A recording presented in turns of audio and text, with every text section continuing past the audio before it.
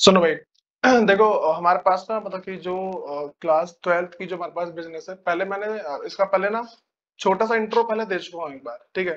उसके बाद ना हमारे पास है कि जो चैप्टर फ़र्स्ट हमारे पास है, पहले समझते हैं कि हम क्लास ट्वेल्थ की बिज़नेस के अंदर पढ़ेंगे क्या, ठीक है? इससे पहले मैं तुम्हें मतलब इलेवेंथ क्लास में जो हमने बिज़नेस पढ़ी थी ना, वो हमने वो क्या पढ़ी थी? उसके अंदर ये चीज़ देखी गई थी कि किस मतलब कि बिज़नेस वगैरह कितने, एक तरीके से मान कितने टाइप से होते हैं। ठीक है? ऐसे पढ़ा था हमने और बिज़नेस में क्या किन किन चीज़ों की ज़रूरत पड़ती है? जैसे इंश्योरेंस वगैरह हो गया, ये सब पढ़ा था पहले। तो लेकिन भाई ट्वेल्थ क्लास के अंदर ना, हम जो बिज़नेस पढ़ेंगे, वो ये होता है कि बिज़नेस को हमें मान लो स्टार्टिंग से चालू कैसे करना है? बस ना हमारी तो सुनो, भाई देखो, हमें ना सबसे इंपॉर्टेंट चीज़ का समझ चलनी है कि अगर हम किसी भी बिज़नेस को चालू करते हैं तो उसमें हमें ना मतलब कि किन चीज़ों की ज़रूरत होती है, वो सारी बात पता होनी चाहिए। सबसे पहली बात मैं तुमसे बोलूँ तो भाई हमारे पास ये हो जाता है। अच्छा ये बताओ मेरे को कि अगर कोई भी इंसान अपना बिज़नेस चालू करना चाहता है, सबसे पहले वो क्या सोचेगा? कोई भी इंसान जो अपना बिज़नेस चालू करना चाहता है, सबसे पहले क्या सोचेगा कि भाई, पहले वो सोचेगा ना बिज़नेस कैसे रहेगा पहले मैंने क्या बोला कि पहले वो सोचेगा कि बिज़नेस कैसे करना है, या फिर क्या करना है, कैसे कैसे करना है, ये सब चीज़ें।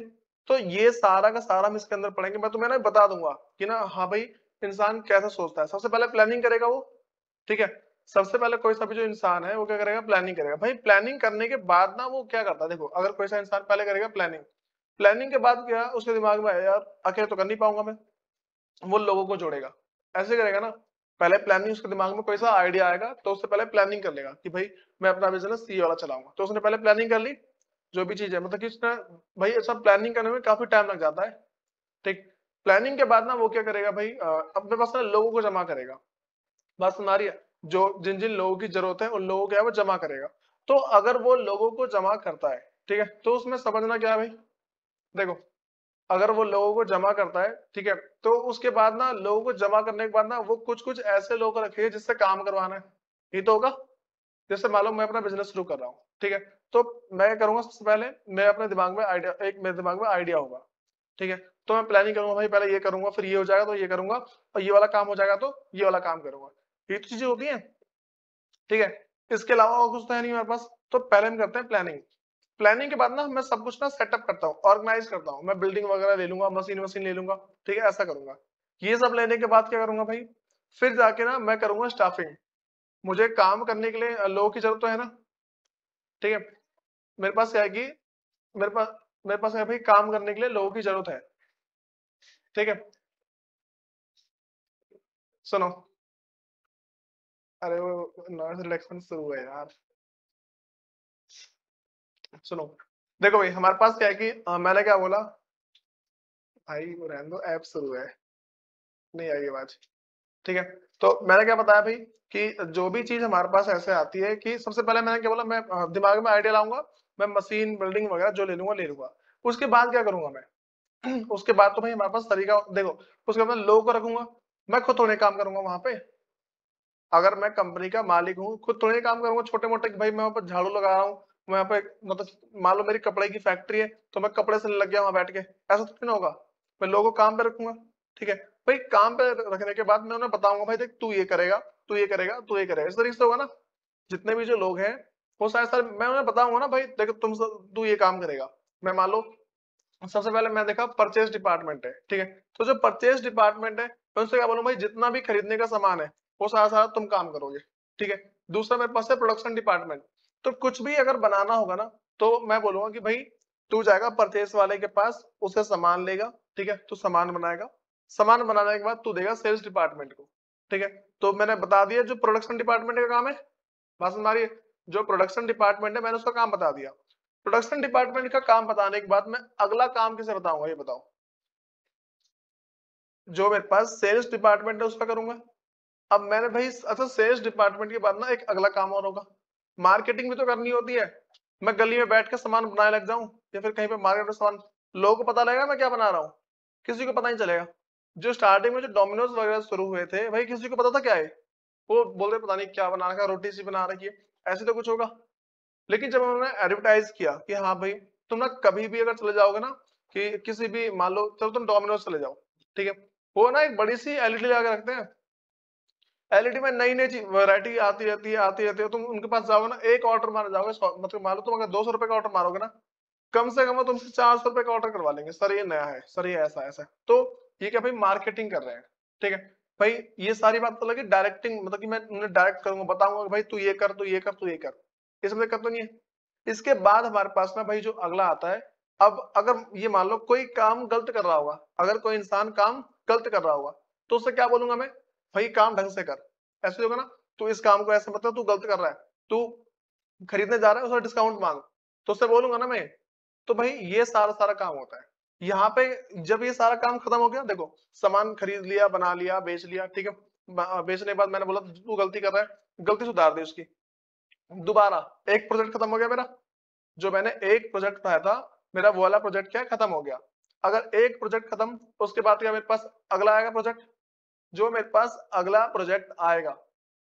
उसके बाद के बाद दोबारा प्लानिंग करूँगा ना, बात समझ आ गई? तो ये सारी चीज़ पढ़ने जा रहे हैं हम, ठीक है?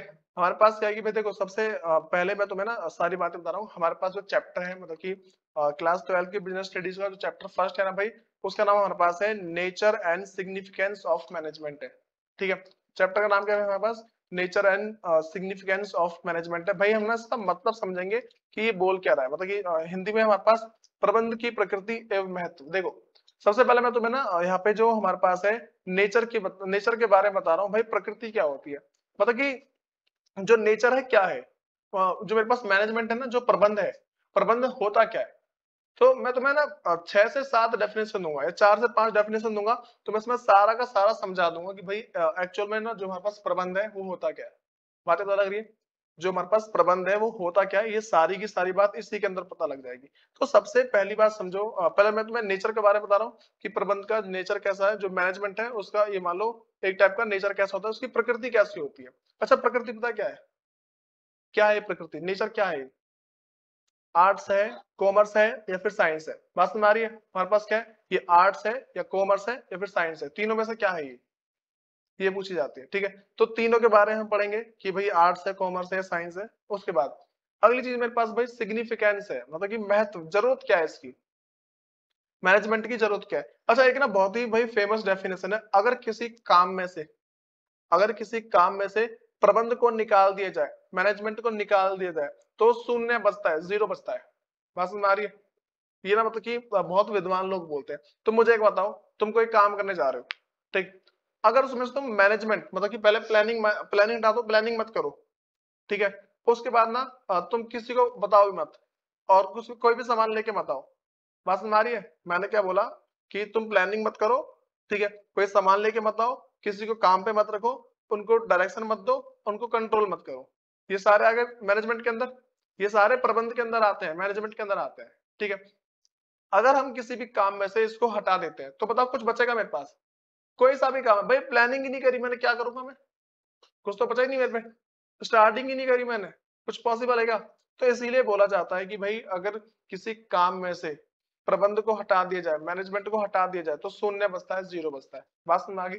भाई, सबसे पहले ना तुम्हारा, तुम सबके पास टूल किट नंबर फ़र्स्ट होगी, ठीक है? आगे बार पेज पलट के देख लो। उसमें मैंने मतलब जो प्रबंध है, जो मैनेजमेंट है उसकी ना जो डेफिनेशन है उसको लिया है। तो ये समझो भाई हमारे पास की डेफिनेशन क्या बोल रही है, ठीक है?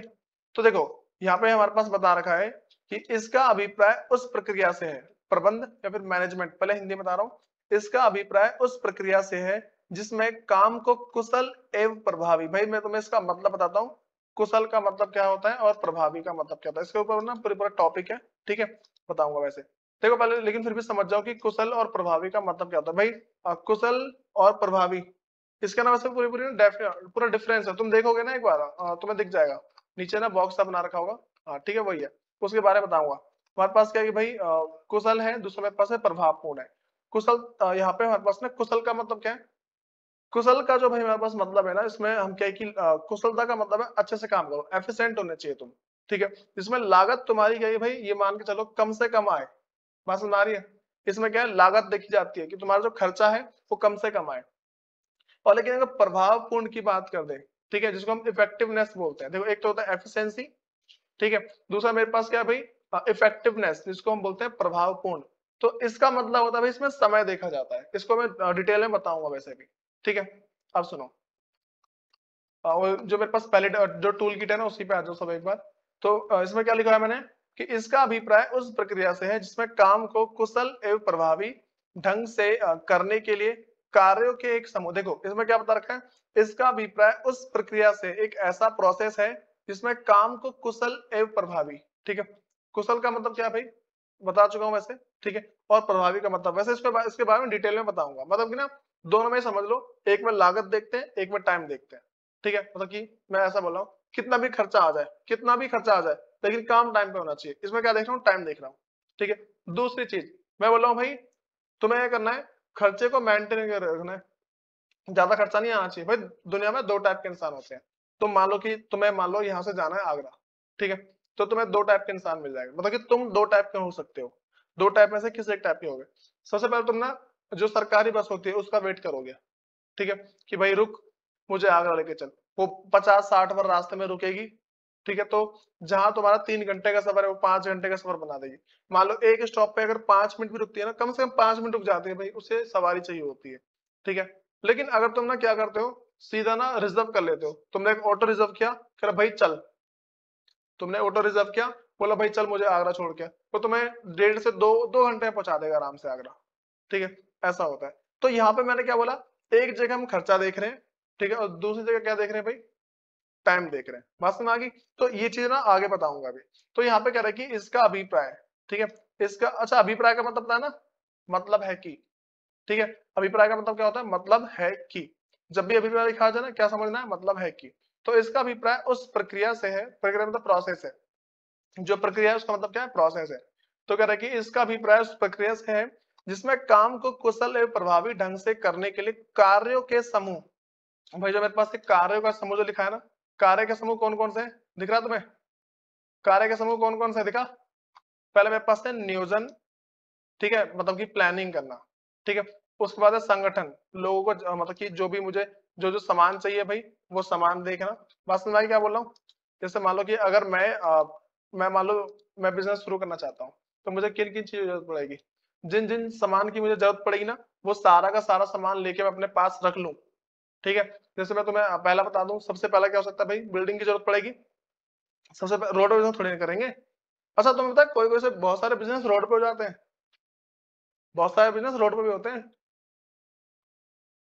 नहीं समझे? अरे चलो वो वैसे बिज़नेस बोलते नहीं है। फिर भी होते हैं बहुत सारे, बता दूँगा बाद में, ठीक है? नियोजन हमारे पास है। संगठन संगठन का मतलब क्या जिन चीज़ों की ज़रूरत है, उन सब सामानों को ले आओ।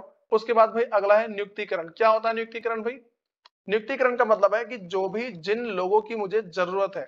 अच्छा इसको वैसे ना इंग्लिश में इनको बोला था स्टाफिंग करना, ठीक है? मुझे जिन जिन लोगों की ज़रूरत है, भाई मैं उन लोगों को जॉब पे रख लूँगा। उसके बाद अगला मेरे पास है निर्देशन। निर्देशन का मतलब क्या है? मैं डायरेक्शन दूँगा उन्हें। अगर मैंने जब लोगों को रख लिया ना, लोगों को रखने के बाद मैं निर्देशन दूँगा, उन्हें डायरेक्शन दूँगा कि भाई तू ये काम करेगा, तू ये काम करेगा। मैंने बताया ना स्टार्टिंग में purchase department sales department production department तो ये सारे सारे क्या है? मैं उन्हें डायरेक्शन दूँगा ना पहले क्या करूँगा भाई मैं? पहले लोगों को रखूँगा। बोलूँगा, भाई देख, तेरा काम है परचेस डिपार्टमेंट का, तेरा है सेल्स का, तेरा है प्रोडक्शन का, तेरा है एडवर्टीजमेंट का मतलब मार्केटिंग का। तो ये बातें पता लग रही है?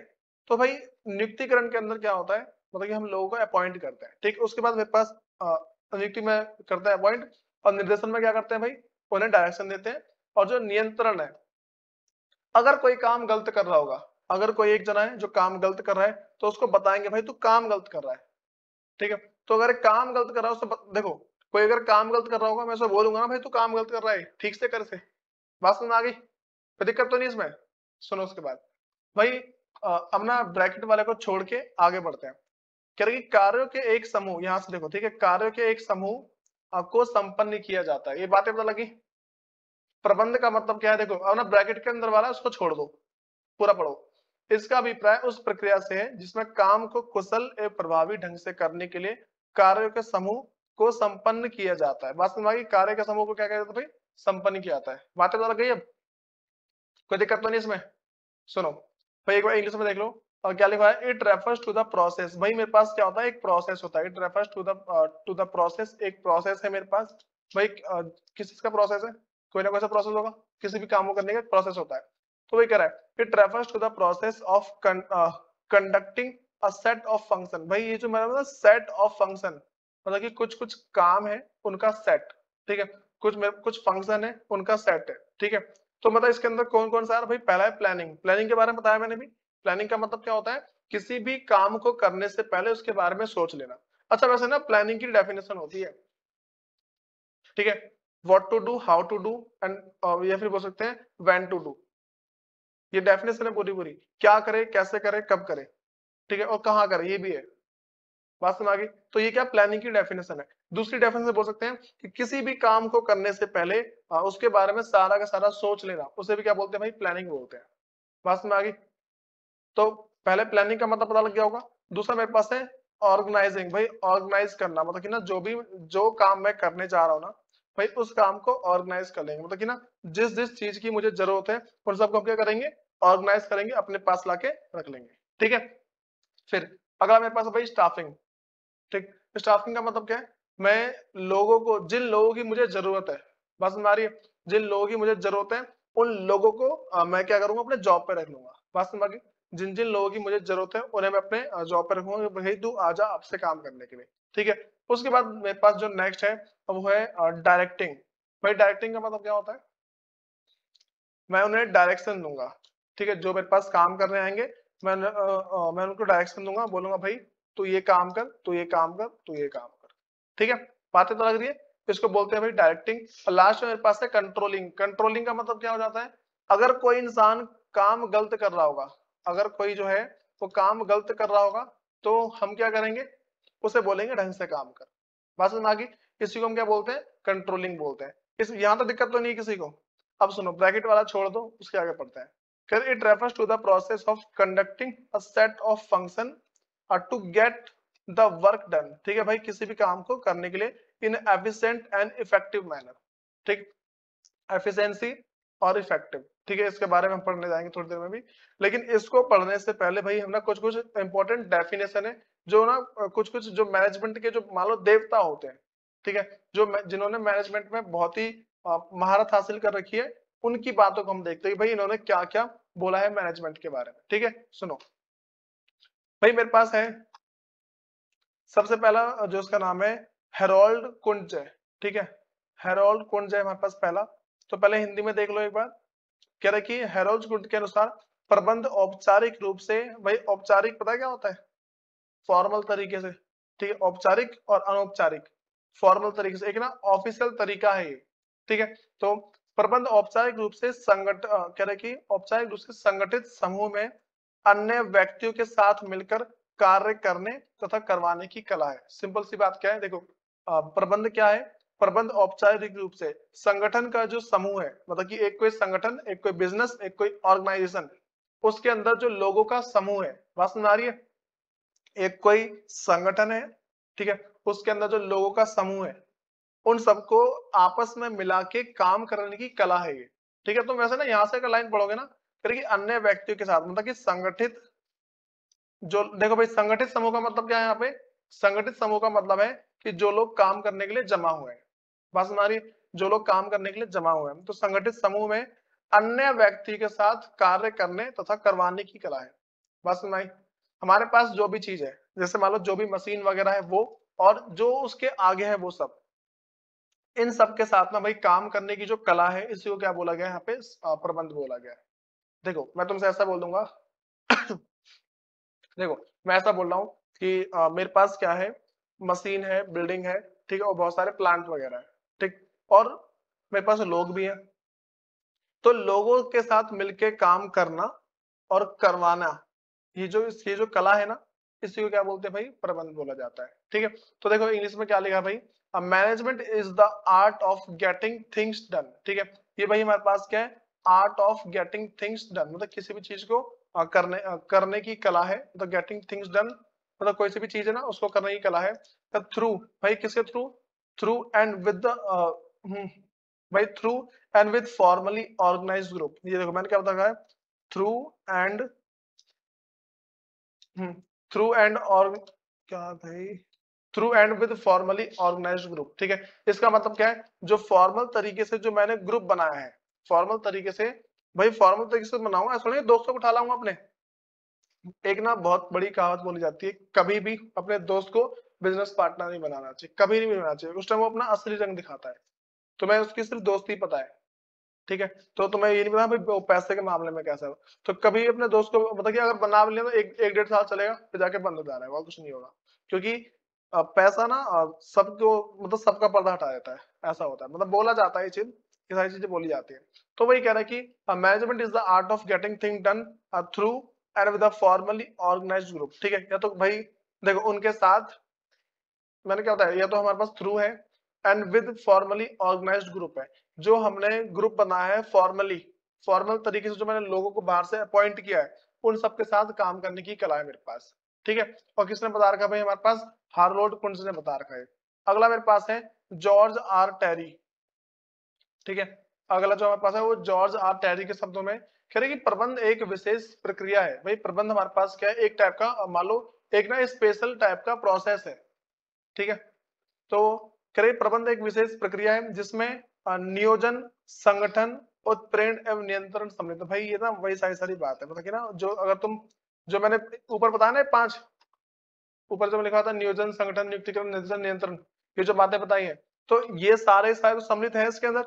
उसके ना जो मैंने नीचे बताया कि नियोजन, संगठन, उत्प्रेरण एवं नियंत्रण सम्मिलित है तो इसके बदले तुम उन पाँच को भी लिख सकते हो।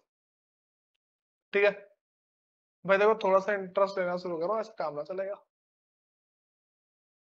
उसके बाद भाई सम्मिलित करेगी इनमें से प्रत्येक में विज्ञान एवं कला दोनों का प्रयोग करते हुए पूर्व निर्धारित लक्ष्य को पूरा करना पूरा करने के लिए इनका अनुसरण किया जाता है। भाई देखो, यहाँ पे क्या बताया मैंने कि पूर्व निर्धारित लक्ष्य को पूरा करने के लिए इनका अनुसरण किया जाता है। इसका मतलब सिंपल सा ये आता है कि जो जो लक्ष्य मैंने पहले से डिसाइड कर लिया है, उसको पूरा करने के लिए, जो लक्ष्य मैंने पहले से डिसाइड कर लिया है, उसको पूरा करने के लिए भाई मुझे जो जो काम करने की ज़रूरत पड़ेगी ना ठीक है? वो वो सारा का सारा मेरे पास क्या है? मैनेजमेंट है। मैं सिंपल सा और बोल सकता हूँ कि नियोजन, नियुक्तिकरण, निर्देशन मतलब मेरे पास क्या क्या भाई? पहले हाँ नियोजन, संगठन, नियुक्तिकरण, निर्देशन, एवं नियंत्रण। ये सारा पहले ऊपर लिख दूँगा मैं। उसके बाद क्या लिख दूँगा कि पूर्व निर्धारित लक्ष्य को लक्ष्य को पूरा करने के लिए इनका अनुसरण किया था मतलब कि इनको किया जाता है। अनुसरण का मतलब है भाई लाइन से ही किया जाता है। कभी ऐसा पॉसिबल नहीं कि तुम पहले कंट्रोलिंग कर दो। मुझे बताओ कि भाई, बिना बिल्डिंग के या फिर बिना जो तुम्हारे पास मशीन है, इसके बिना तुम स्टाफिंग कर लोगे? तो मतलब कि नियुक्तिकरण थोड़ी कर लोगे? ऐसा हाँ भाई, मैंने कंपनी शुरू करी आजा मतलब कंपनी शुरू करूँगा, तू आजा मेरे पास, आज से जॉब पे। ऐसा तो कोई पागल होगा नहीं। तो इनका अनुसरण किया था, अनुसरण भाई तो लाइन फॉलो किया जाता है ऐसा। ठीक है?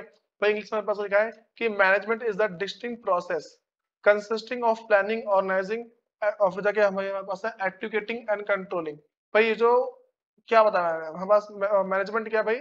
डिस्टिंग प्रोसेस एक अलग प्रोसेस है। किस चीज़ का प्रोसेस भाई? प्लानिंग ऑर्गेनाइजिंग उसके बाद हमारे पास एक्टिवेटिंग एंड कंट्रोलिंग ठीक है? इन सब चीज़ों का प्रोसेस है और भाई इन्हीं प्रोसेस को यूज़ किया जाता है किस चीज़ के लिए? किसी भी प्री डिसाइडेड या फिर प्री डिटरमाइन वर्क को करने के लिए। बात समझ आई किसी भी प्री डिटरमाइन वर्क को करने के लिए जब इन सब चीज़ों को फॉलो किया जाता है ना, उसी को क्या बोलते हैं? मैनेजमेंट बोलते हैं।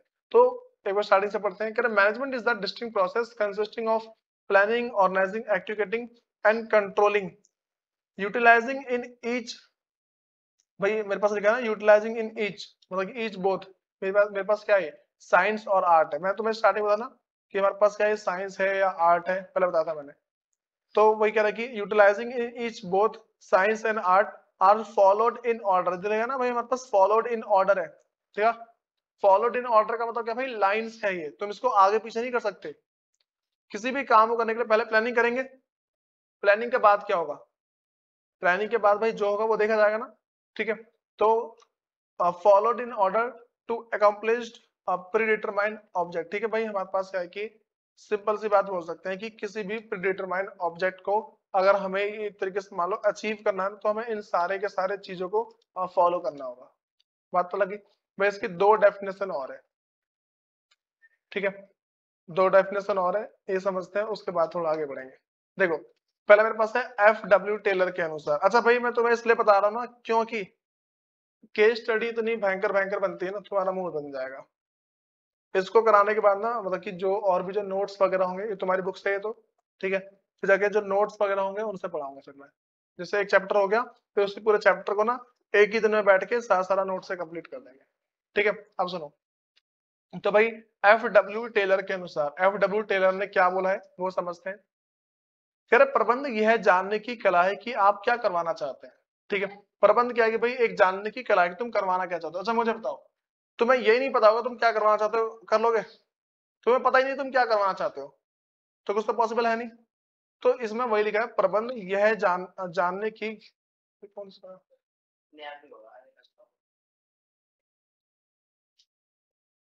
सुनो, मैंने क्या बताया भाई कि प्रबंध यह जानने की कला है कि आप क्या करवाना चाहते हैं। तो भाई प्रबंध क्या है?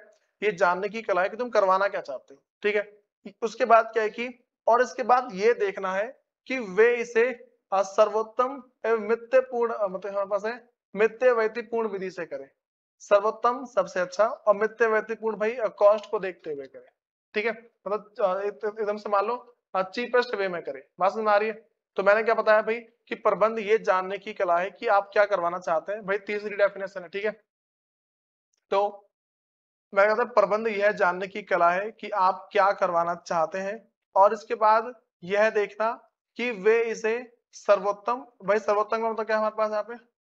सबसे बेस्ट करें, ठीक है? और उसके बाद क्या है? मित्य वैतिपूर्ण विधि से करें, ठीक है? मतलब कि चीपेस्ट वे में करें। तुम ना कभी भी किसी से काम करवाना चाहोगे ना वो क्या भाई, सबसे अच्छा बोलते हैं चीप एंड बेस्ट होना चाहिए।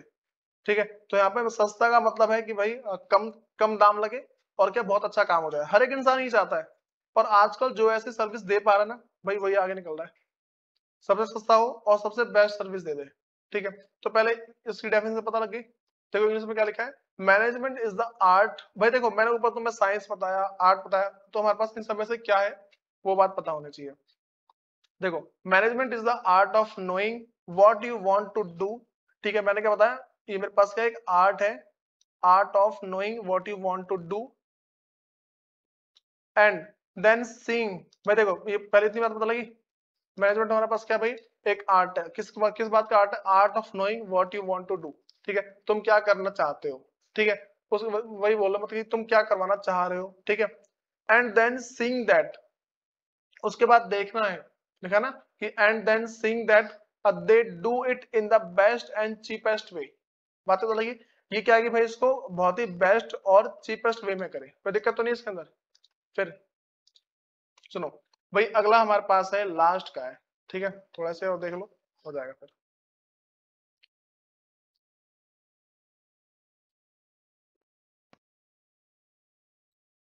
सुनो भाई जो हमारे पास ना पीटरसन ने बोला है, वो बोल रखा है कि पीटरसन था पॉलमैन है, ठीक है? वैसे हाँ पॉलोमैन बोल सकते हैं इसको। देखो, हमारे पास यहाँ पे हाँ भाई, वही वही हमारे पास पॉलोमैन कह रहे पीटरसन था पॉलोमैन के अनुसार प्रबंध से अभिप्राय उस प्रक्रिया से है, ठीक है? प्रबंध से अभिप्राय उस प्रक्रिया से है, जिसके द्वारा एक विशेष मानव मानव समूह के उद्देश्यों का निर्धारण व स्पष्टीकरण करते हुए उन्हें कार्य रूप दिया जाए। देखो भाई, इसका ना सिंपल सा मैं एक ही मतलब बोलूँगा कि प्रबंध का ना मतलब क्या बता रखा है यहाँ पे, जिसके द्वारा एक विशेष मानव के समूह को उद्देश्य, एक विशेष मानव है, कुछ स्पेशल लोग होंगे ना जिसको हमने अपॉइंट किया होगा, ठीक है? तो उनके जो उद्देश्य हैं, उनके उद्देश्यों का मतलब कि निर्धारण और मतलब कि पहले डिसाइड कर लो कि इनका उद्देश्य क्या है, ठीक है? जो भी मानव है, पहले इनको डिसाइड कर लो कि इनका उद्देश्य क्या है, उसके बाद स्पष्टीकरण कर दो। भाई, सबके साथ मतलब एकदम स्पष्ट कर दो कि हाँ भाई, ये चीज़ है। ठीक? और उनको एक कार्य रूप दे दिया जाए। प्रबंध क्या होता है? वही तो पूरा कार्य रूप दे देना कि भाई, तूने ये कर लिया, इसके बाद ये करेगा, फिर ये करेगा, फिर ये करेगा, फिर ये करेगा। ये हमारे पास कार्य रूप एक तरीके से। ठीक है? उसके बाद ना इंग्लिश में देख लो एक बार। मैनेजमेंट में भी डिफाइंड एज द प्रोसेस। ठीक है? मैनेजमेंट को एक प्रोसेस के रूप में डिफाइन कर सकते हैं। और वही कौन सा है? By means of which the purpose and objective of a particular human. ठीक है भाई, क्या बताया मैंने? Purpose and objective of a particular human group are determined ठीक है, यहाँ पे भाई क्या देखा जाता है? एक जो हमारे पास ना स्पेशल कुछ पर्सन है, ठीक है ना purpose and objective of particular human ठीक है, हमारे पास क्या यहाँ पे? पर्पस और ऑब्जेक्टिव देखते हैं, किसका? एक पर्टिकुलर ह्यूमन का। एक कोई विशेष इंसान है, उसके पर्पस देखे जाते हैं, ठीक है?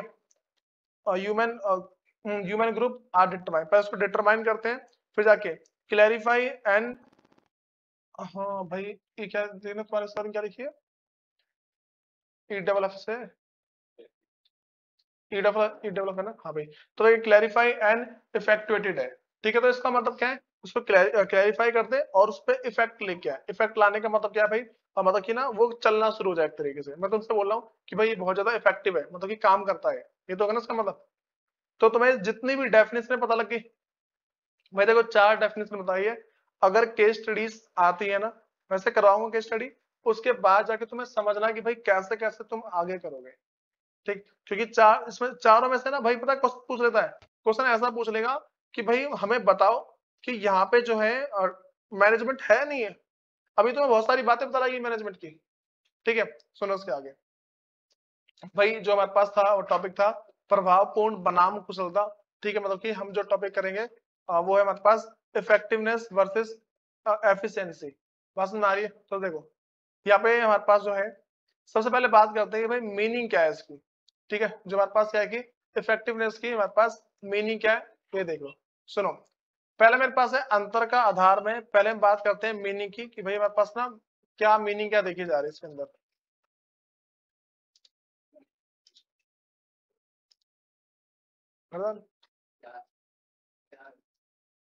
सुनो भाई, हमारे पास क्या है प्रभावपूर्ण बनाम कुशलता है। तो प्रभावपूर्ण का मतलब क्या हमारे पास यहाँ पे? ठीक है, वो बताऊँगा। फिर कुशलता का मतलब क्या है, वो बताऊँगा। सबसे पहले भाई, इसकी मीनिंग की बात करते हैं, इसकी मीनिंग क्या है? कह रहे कि इसका अभिप्राय काम को समय पर पूरा करने से बस सुना रही है? इसका मतलब प्रभावपूर्ण का मतलब है, इसका अभिप्राय काम को समय पर पूरा करने से चाहे कितनी ही लागत क्यों ना आ जाए। बस सुना काम तुम्हारा समय पर हो जाना चाहिए, भले कितना भी खर्चा क्यों ना आ जाए। बात तो लगी अगर तुम्हारा काम समय पर नहीं होगा भाई तो कोई बात ही नहीं हुई मैंने क्या बताया खर्चा कितना भी कर लो, लेकिन काम जो तुम्हारा काम है ना, वो टाइम पे होना चाहिए। ठीक? और कुशलता का मतलब क्या है? इसका अभिप्राय काम को न्यूनतम लागत पे करने से। ठीक है? इसमें कॉस्ट देखी जाती है। जो मेरे पास ना एफिशिएंसी है, जो कुशलता है, इसमें क्या देखा जाता है भाई? इसका अभिप्राय काम को न्यूनतम लागत में करने से। भाई, न्यूनतम लागत का मतलब जितना कम खर्चा हो सके, उतना कम खर्चा करो। कोई दिक्कत नहीं इसके अंदर? फिर सुनो। भाई, अगला उद्देश्य भाई, हमारे पास प्रभावपूर्ण का उद्देश्य क्या होता है और कुशलता का उद्देश्य क्या होता है? कर अंतिम परिणामों को समय पर प्राप्त करना। भाई, जो रिज़ल्ट है, उसको टाइम पे हमें टाइम पे मिलना चाहिए। ठीक है? खर्चा कितना भी कर लो। दूसरा, और भाई, कुशलता का उद्देश्य क्या है? लागत, लाभ, विश्लेषण। भाई, लागत, लाभ विश्लेषण का मतलब हमारे पास है कि तुम्हें कॉस्ट देखनी है और जो प्रॉफिट है, वो भी देखना है। ठीक है? लास्ट में बोल रहा हूँ हमारे पास जो मुख्य केंद्र है वो इसमें समय देखा जाता है। एक के अंदर समय मतलब कि जो मेरे पास प्रभावपूर्ण है उसके अंदर समय देखा जाता है और कुशलता में लागत ठीक है? भाई एक बार ना इंग्लिश वाला देख लो वर्डिंग को समझा दे रहा हूँ मैं। तो भाई जो बे, आ, मतलब बेसिस ऑफ़ डिफरेंस है पहला हमारे पास है मीनिंग है। तो मीनिंग में क्या मेरे पास? जो इफेक्टिवनेस की मीनिंग है it refers to completing the job on time ठीक है? क्या बता रहा भाई इसमें? हमें कंप्लीट करना है जॉब को कैसे भाई? टाइम पे। टाइम पे काम तुम्हारा पूरा होना चाहिए। No matter what ever the cost ठीक है भाई? कोई मैटर नहीं करता कि तुम्हारी कॉस्ट कितनी लग रही है, तुम्हारा खर्चा कितना हो रहा है। ये मैटर नहीं करता, ठीक है? अगला मेरे पास है भाई एफिशिएंसी क्या होता है भाई का मतलब? It refers to completing the job in the cost effective manner भाई कॉस्ट इफ़ेक्टिव मैनर का मतलब क्या है? कॉस्ट तुम्हें देखते हुए चलनी है, ठीक है? कॉस्ट इफ़ेक्टिव का मतलब है जितनी कम कॉस्ट हो सके उतनी कम कॉस्ट कर दो, ठीक है? फिर सुनो। जो मेरे पास ऑब्जेक्टिव है, क्या है इसका ऑब्जेक्टिव मतलब कि जो मेरे पास ना अगर इसकी बात कर दू कि इफेक्टिवनेस का ऑब्जेक्टिव क्या है और जो एफिशिएंसी है, इसका ऑब्जेक्टिव क्या है? सबसे पहले भाई हमारे पास है to achieve end result on time भाई जो हमारे पास रिज़ल्ट है, वो क्या टाइम पे मिलना चाहिए। बस हमारी, जो हमारे पास रिज़ल्ट है, वो टाइम पे मिलना चाहिए। दूसरा है to conduct cost benefit analysis ठीक है? यहाँ पे क्या है भाई? कॉस्ट बेनिफिट एनालिसिस यहाँ पे क्या करते हैं भाई? कॉस्ट देखते हैं कितनी है, उसको देखते हैं बेनिफिट कितना आ रहा है, उसके बाद जाके आता है। भाई, किसी बिज़नेस को चलाने का दो तरीका होता है। एक तो हमारा, हमारे पास है भाई, सिर्फ़ टाइम देखो, दूसरा क्या क्या होता है? कॉस्ट देखो, ये चीज़। है तो मैं तुम्हें एग्ज़ाम्पल देता आगरा जाने का। मैं तुमसे, चलो दूसरा एग्ज़ाम्पल देता हूँ। मैं तुमसे कह रहा हूँ, भाई, तुम्हें ना पहुँचना अपने स्कूल ठीक है? तो तुम उसमें दो तरीके से, चलो स्कूल छोड़ो। तुम्हें ना कोई अपना अपना घर बनवाना है तुम्हें, ठीक? तो अपना घर बनवाने के लिए तुम्हारे पास दो तरीके होंगे। सबसे पहला, तुम पैसा देख, दूसरा क्या टाइम देख लो। अगर तुम पैसा बचाओगे, ठीक है तो टाइम ज़्यादा लगता है। अगर तुम टाइम बचाओगे तो पैसा ज़्यादा लगता है। सिंपल सी बात है, अगर मुझे ना मान लो दस मंजिल का एक घर बनाना है, ठीक है तो उसमें कम से कम कम से कम बोलो दो साल लग जाते हैं, ठीक है, मान लो अगर करवाते हो तुम नॉर्मल लेकिन अगर तुम चाहो ना, उसको तुम दो महीने में तैयार करवा सकते हो, पैसा पैसा होना चाहिए। भाई, चीन के अंदर ना वो क्या है कि बता रहे ऐसा बता रहे हैं कि शायद ना 200 या फिर शायद हज़ार कमरे हैं, ठीक है? हज़ार मतलब जितने भी 200 के आसपास है, इतने कमरे की बिल्डिंग उन्होंने भाई 10 घंटे के अंदर तैयार कर दिया अब सोचो। और बिल्डिंग जो है ना नॉर्मल बिल्डिंग से भाई दस गुना ज़्यादा मज़बूत बताई जा रही है। यूट्यूब पर सर्च कर लेना एक बार कि भाई मतलब कि जो ना चीन ने मतलब अपने हिसाब से डालें, जो भी डालोगे कि चीन ने जो बिल्डिंग बनाई ना, चीन बिल्डिंग इन टेन आवर डाल देना, कहीं ना कुछ आ ही जाएगा, ठीक है? इसको देखना, आराम से पता लग जाएगा। पूरी उन्होंने वीडियो ना फास्ट मोशन में करके अपलोड भी कर रखी है कि भाई कैसे कैसे बनाया दस घंटे के अंदर, सोचो। दस घंटे के अंदर दस मिनट की बिल्डिंग तैयार कर दिया ठीक है? उसके बाद अच्छा भाई हम अपने देश की बात करते हैं। हमारे देश में क्या होता है? हमारे देश में काम करने के दो तरीके होते हैं। हमारे देश की सरकार क्या करती है? भाई वो बचाती है पैसा। पैसा बचाती तो काम करने में टाइम लगता है। ठीक है? मान लो तुमने कोई सा रोड टूटा हुआ देखोगे ना, तुम ना उसे कम से कम छह से सात महीने, एक साल देखोगे। मैं जब भी कहीं जाता हूँ ना तो मुझे देखते भाई रोड पे इतने धचके लग रहे होते हैं। मतलब कि यहाँ बैठो, इधर, उधर ऑटो हिलता रहता है, फिर जिसमें तुम बैठो वो हिलता रहता है। ठीक? अदर कंट्री में जाओ ना, वो नहीं देखते पैसा। वो देखते टाइम भाई टाइम कम लगना चाहिए। क्योंकि वहाँ के जो लोग हैं, भाई, अगर वो ऐसी चीज़ें हैं तो उस हिसाब से करते हैं। तुम ना अमेरिका अगर जाते हो या फिर किसी मान लो मॉडर्न सिटी जाओगे ना थोड़ा सा टूट गया और तुरंत रिपेयर करवाते हो, तुरंत। जहाँ पता लग गया ना उनको, तुरंत रिपेयर भाई, यहाँ पे अगर लाइट कटती ना तो ठीक है, आधे एक घंटे, अगर कहीं पे ब्लास्ट हो गया, आधे एक घंटे लगने लगने भाई अदर कंट्री में क्या, तुरंत ही चेंज कर देते हैं। मुश्किल से मुश्किल, वैसे तो पहली बात तो उनके पास ऑप्शन होता है ये खराब हो गया, तुरंत साइड वाले लगा दो। यहाँ पे हर एक जगह सिर्फ़ एक ट्रांसफॉर्म है। बिजली को ट्रांसफ़र करने के सिर्फ़ एक है। अदर कंट्री में छह से सात सात होते हैं। ये खराब हो गया, दूसरे में लगाओ तुरंत ही। खराब हुआ, तुरंत वायर निकाला, दूसरे में लगा दिया। चलना शुरू। मुश्किल से मुश्किल भाई, मान लो चार से पाँच मिनट का टाइम लगता है खोलने में और लगाने में। वरना और कोई एक्स्ट्रा टाइम नहीं लगता। ठीक है? तो भाई अब ना एक तुमसे क्वेश्चन पूछ रहा हूँ। क्वेश्चन हमारे पास है कि भाई पहले हिंदी में पढ़ दे रहा हूँ फिर उसको इंग्लिश में पढ़ दूँगा। कह रही रामा क्लॉथ लिमिटेड कंपनी का उद्देश्य बीस हज़ार शर्ट प्रति माह पाँच सौ रुपए की लागत पर तैयार करना है। उसमें तुम्हारे पास नहीं है ठीक है? क्वेश्चन सुनो। क्वेश्चन मैंने बोला है कि आ, हमारे पास क्या है कि रामा क्लॉथ लिमिटेड कंपनी है ठीक है? उसको क्या है बीस हज़ार शर्ट बनानी कितनी शर्ट बनानी है भाई? बीस हज़ार ठीक है? ये जो बीस हज़ार शर्ट है मतलब क्या है कि मतलब हर महीने बनाना है। हर महीने में बीस हज़ार शर्ट बनानी है और उनकी जो कॉस्ट है ना वो क्या है कि पाँच सौ रुपए की होनी चाहिए। मतलब जो लागत है वो क्या है पाँच सौ रुपए में तैयार करना है ठीक? लेकिन जो कारखाने का जो मैनेजर है कारखाने का जो प्रबंधक इस उद्देश्य को 450 रुपए पूरा करने में सक्षम है। जो कारखाने का जो मैनेजर है उसने 450 रुपए में सेट बना दी। टाइम मतलब एक महीने में बना दी और क्या है भाई 450 रुपए बना दी। बात समझ आ रही है? मैंने क्या बोला कि एक कंपनी है, ठीक है, उस कंपनी को क्या करना है? वो कंपनी चाहती है कि भाई उसके पास ना बीस हज़ार शर्ट बन जाए, ठीक है? और जो बीस हज़ार शर्ट बने, वो क्या है कि हर महीने बन जाए और फिर पाँच सौ रुपए की लागत से बने। कंपनी चाहती है उसके मैनेजर ने क्या किया? उसी सेम टाइम में, एक ही महीने के अंदर, उसने चार सौ पचास रुपए बना दी बस हमारी उसने क्या किया? चार सौ पचास रुपए बना दी तो क्वेश्चन पूछ रहे हैं कि क्या आप समझते हैं कि प्रबंधक यहाँ प्रभावी है? उसने पूछा, भाई, या तो प्रभावी होगा वो? ठीक है? या फिर दूसरा क्या होगा? तथा कुशल है। भाई, पूछ रहा है यहाँ पे प्रबंधक प्रभावी है या फिर कुशल है? मतलब कि इसमें ना दो चीज़ पूछ रही है एफिशिएंट है, ठीक है? या फिर दूसरा हमारे पास क्या? इफ़ेक्टिव है। दोनों में से पूछ रहा है कौन बताएगा? कुशल है क्यों?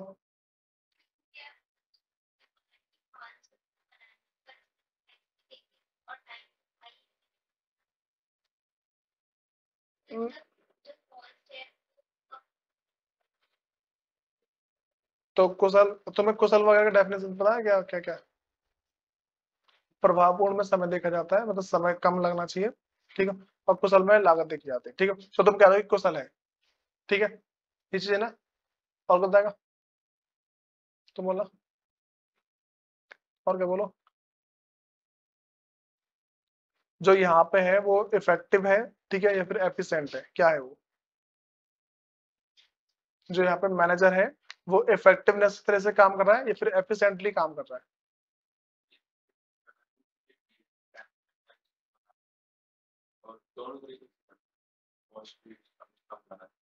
तो दोनों बोल दू।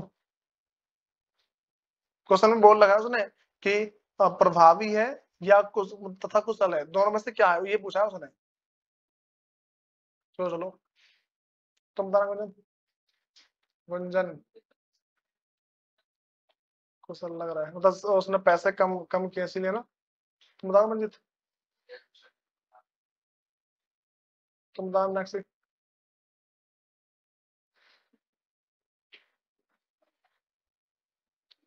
एफिशिएंट लग रहा तुम्हें? तो इफेक्टिवनेस लग रहा पैसे भी तुमने चार, पाँच सौ से चार सौ पचास पे कर दिया। भाई सुनो, ये दोनों है। सुनो, बताता हूँ क्यों। सबसे पहली चीज़। देखो, भाई मैंने क्या बोला, दोनों चीज़ें। दोनों कैसे होगा? देखो, सबसे पहले पाँच सौ रुपए लगनी थी, उसने चार सौ पचास में बना दिया और टाइम पे बना दिया। यही तो है। उसने टाइम पे बना दिया ना, एक महीने के अंदर बना दी उसने। तो यहाँ पे क्या है भाई, हमारे पास वो इफ़ेक्टिव भी है और क्या एफिशिएंट भी है। बात समझ आ रही है? तो मैं ऐसे समझ ली केस स्टडी ये बहुत ही छोटी केस स्टडी है ये। बात समझ आ रही है? भाई, तुम्हें देखना है वो तो। वो तुम्हें देखना है कि भाई क्या चल रहा है, क्या चल रहा है, तुम्हें देखना है खुद। ऑप्शन क्यों गलत देगा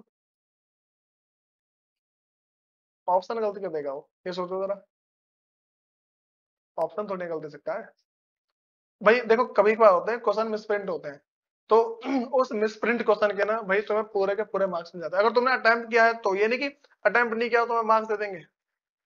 ये चीज़ होती है। क्यों बोला जाता है भाई एग्ज़ाम में सारे सारे क्वेश्चन अटेम्प्ट करो? यही मेन रीजन होता है। अगर तुम सारे क्वेश्चन अटेम्प्ट नहीं करते हो, तुम्हें दिक्कत आती है। ठीक है? अब सुनो भाई, हमारे पास ना, जो इसके आगे बढ़ते हैं। ये एक क्वेश्चन करना आया, कैसे कर रहा है? ठीक है, सुनो। भाई, जो हमारे पास ना नेक्स्ट टॉपिक है वो है प्रबंध की विशेषता है कैरेक्टरिस्टिक्स ऑफ़ मैनेजर भाई, मैं पहले तुम्हें ना जो विशेषता, ये जो वर्ड लिखा है ना, विशेषता, पहले मैं तुम्हें इसका मतलब बता रहा हूँ कि विशेषता का एक्चुअल में मतलब क्या बोला जाता है। बताओ तो इसकी इंग्लिश बताइए कैरेक्टरिस्टिक्स ठीक है? भाई, जब भी तुम कभी भी अगर किसी का मोबाइल चेक करते हो मतलब कि तुम्हें कोई सा मोबाइल लेने जाना है तुम क्या चेक करता है उसके? उसके फीचर्स और फीचर्स के सिनोनिम्स है कैरेक्टरिस्टिक्स उसकी विशेषता चेक करते हो। ठीक है? जैसे कितना मेगापिक्सल का कैमरा है। ठीक है? और हमारे पास क्या भाई दूसरा, उसको उसको जो बैटरी बैकअप देखोगे रैम कितनी है उसकी? ठीक है? रैम के बाद तुम रोम चेक करोगे। ये साथ साथ चेक करोगे ना? बात सुना है? तो ये सब क्या इसके फीचर्स है। तो वही मैं तुम्हें सेम चीज़ बता रहा हूँ कि जो हमारे पास ना मैनेजमेंट है, उसके फीचर्स क्या क्या है। ठीक है? सुनो भाई, पहले ना मतलब कि अच्छा ये वाला ना कराऊँगा नेक्स्ट क्लास में वैसे ठीक है? और नेक्स्ट क्लास अभी पाँच मिनट बाद होगी।